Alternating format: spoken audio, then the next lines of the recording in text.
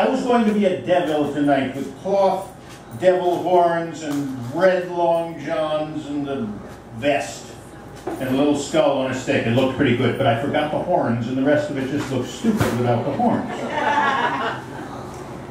but it would have suited this poem. I'm just reading this one poem. Many of us are fans of Jack McCarthy and were fans of Jack McCarthy when he was living. I wrote this one in honor of him when he died.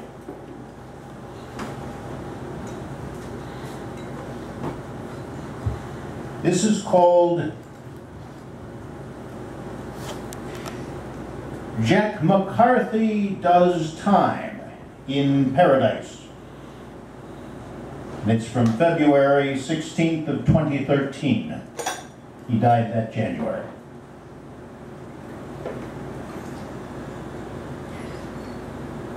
Jack is now in heaven with his golden harp and folded wings.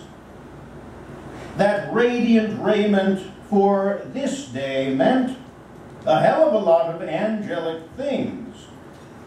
Has a halo and fancy sandals, has a songbook signed by David, all paraphernalia, regal regalia, angels arrange, and they gave it. McCarthy's in heaven. We know he's in heaven and perfectly happy. Almost. There is little he'd ask of the Father, the Son, or the other one, the Holy Spirit. He'd fear it'll seem he's ungrateful if he suggests of the best any flaw, so he does not. Enjoys what he's got, what he tasted and smelt, what he heard, felt, and saw.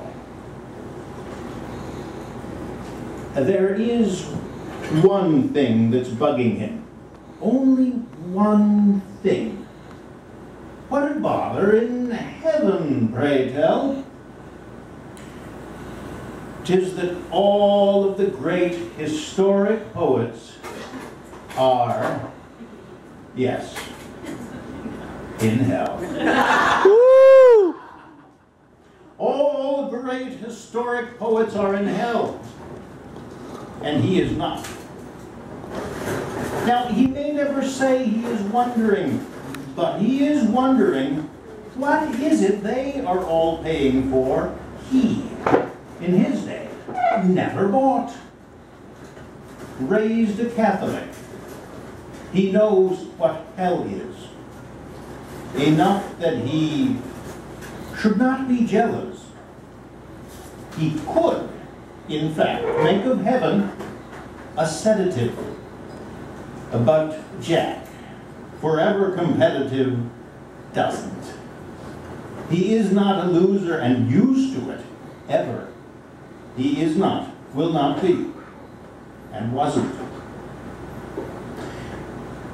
So even in paradise, there he must learn to write poetry scrumptious enough to be sin, and a sin too sublime to repent.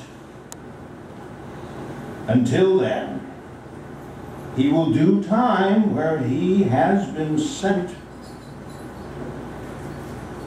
around writers determined but crappy.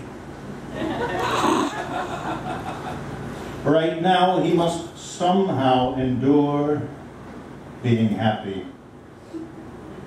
One just about out authors living? I am. Before awesome and infinite will give a damn.